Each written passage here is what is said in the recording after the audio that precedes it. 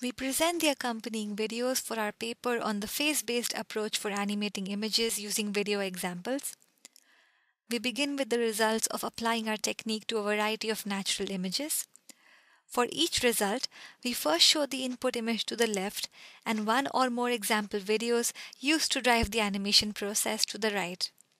Next, we show the user marked regions in the input image and the first frame of the example video. The sparse corresponding strokes that are optionally marked by the user are shown with dashed lines.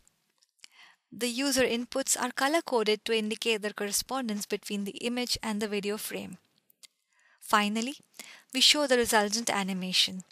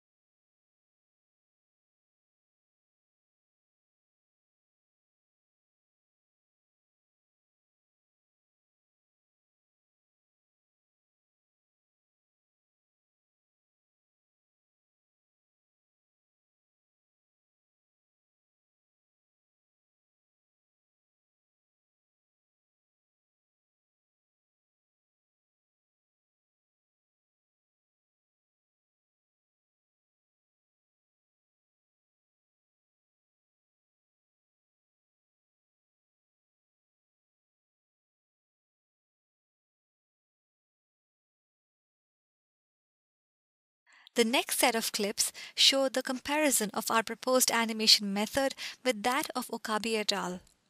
The input videos and user strokes used to generate our results have already been shown in the results section of this video. The final animation by Okabe et al. is shown to the left and the result of our technique is shown to the right.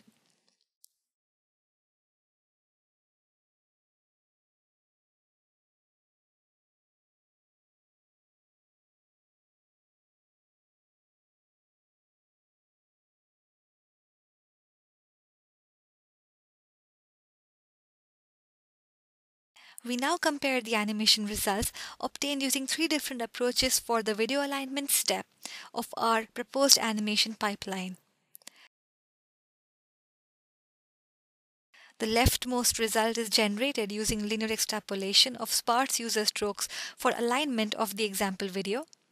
The result shown at the center is generated using SIFT Flow with its default settings. The result to the right is generated after aligning the example video using our proposed alignment method.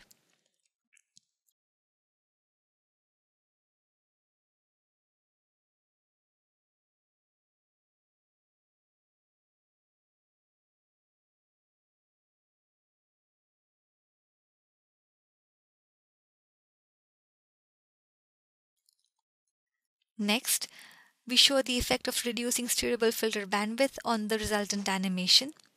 Here, we show the original video and the animation results using octave, half octave, and quarter octave bandwidth filters.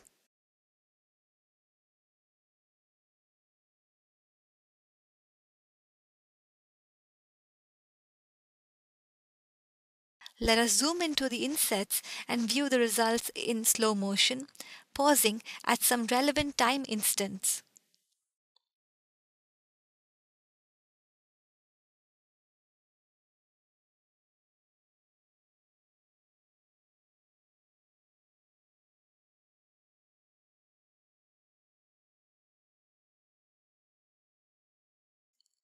We now highlight the limitation of the proposed phase-based animation technique.